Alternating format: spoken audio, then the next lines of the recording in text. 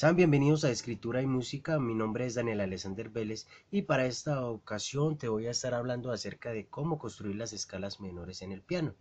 Pues bien, una escala como tal, sin importar si es menor, mayor, eh, es una sucesión de sonidos que se presentan entonces de manera alternada y representan una con una nota con otra una altura determinada. Esto no es más que decir entonces que al yo estar tocando cada tecla me da la sensación de que estoy ascendiendo por unas escalas, unos peldaños, y cada nota entonces va quedando más abajo en relación con la que suena.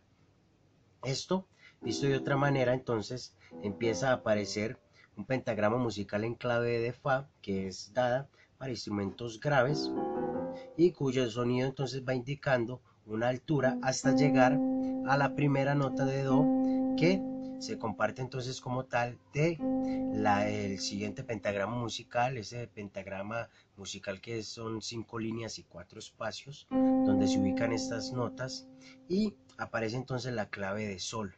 Esa clave empieza también a ascender, a darnos una sensación de que está sonando una nota más alta que otra y eso es lo que se hace. Entonces empiezan a aparecer unas líneas adicionales que entregan esa información. Unas, líneas adicionales por encima o por debajo del pentagrama musical. Y esto indica entonces que en el pentagrama esas cinco líneas y cuatro espacios no pueden entonces contener toda esa información y por eso es eh, eh, importante mm, ingresar las líneas adicionales. Bueno, para las escalas eh, menores cabe aclarar que existen básicamente tres escalas menores, que son entonces las menores naturales, melódicas y armónicas. Cuando una escala como tal no presenta ninguno de estos nombres, se indica o se, o se entiende que es una escala menor natural, que son las escalas más usadas y entonces por eso quiero eh, indicarles esta escala como tal. Ahora, esto es una escala heptatónica, es decir, de siete notas, como las demás, tanto mayores como menores, y se crean a partir de unos patrones de tonos y semitonos que dan entonces esa, ese nacimiento o crean la escala musical como tal. Ahora, aparte de ese patrón de semitonos y de tonos y semitonos, hay un patrón o una fórmula general que es la siguiente. De do a re hay un tono, de re a re sostenido hay medio tono, de re sostenido a fa, aquí hay otro tono, de fa a sol, aquí, de, de, de re sostenido a fa hay otro tono, de fa a sol hay otro tono, de sol a sol sostenido o a la bemol, hay, medio tono, de la bemol a la sostenido o si bemol hay otro tono y de si bemol o la sostenido a do hay otro tono como tal. Esto es para el tema entonces de cómo se crean las escalas. A, esta, a estas eh, siete notas, incluyendo entonces la octava, estas siete notas se presentan como eh, se les indica como grados de la escala como tal. Estos grados como su nombre lo indica, entonces, tienen un nombre 1, 2, 3, 4, 5, 6 y 7 como tal. Entonces, aquí, en el La sostenido o Si bemol. Esto entonces quiere decir que representan una altura y en relación con eso entonces va a sonar de manera diferente.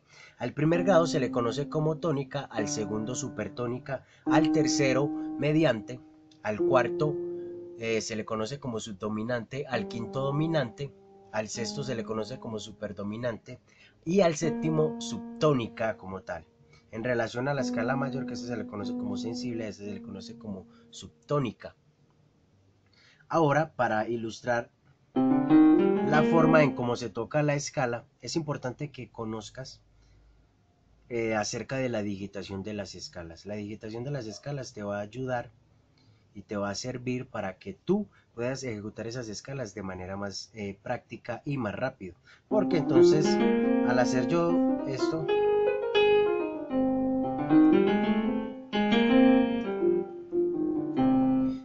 al eh, repartir esos eh, movimientos o esa digitación, al estructurarla de manera correcta, puedo entonces ejecutar la pieza que en este caso sería la escala como tal, de manera rápida y concreta y tendría siempre esos mismos patrones y eso me ayudaría a estandarizar entonces la forma de cómo tocar. La digitación para la mano izquierda, dedo 5, 4, 3, 2 y 1. Entonces para esta 1, 2, 3, 4 y 5. 5, 4, 3, 2, 1 y 1, 2, 3, 4 y 5 como tal. Entonces comienza el dedo 5. 5 la voy a hacer una vez mano izquierda y otra vez mano derecha y ya con eso entonces culmino el video.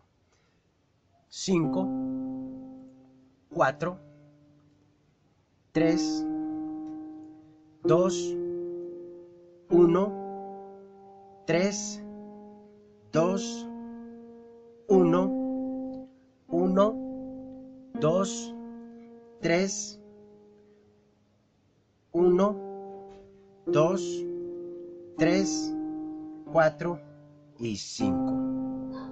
Aquí 1, 2, 3, 1, 2, 3, 4, 5, 5, 4, 3, 2, 1, 3, 2 y 1. Como vieron entonces esto entrega una sensación de que se está entonces trabajando como en relación de una altura determinada. Cuando ascendemos,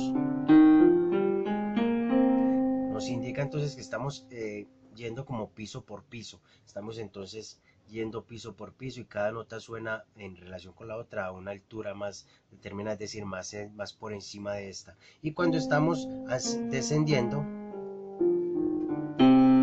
entonces entrega también esa, esa sensación de que estamos muy arriba y vamos bajando aquí y llegamos entonces al primer peldaño como tal.